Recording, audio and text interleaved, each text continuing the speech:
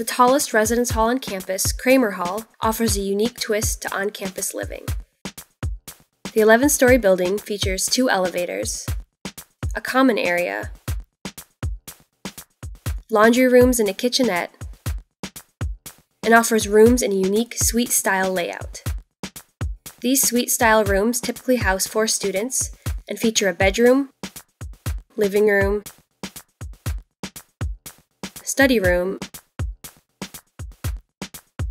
and a private bathroom.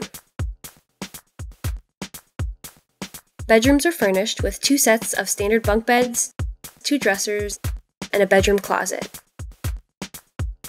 There are also two additional closets in the living room. Between the living room and bedroom is a study area, which is furnished with desks and chairs.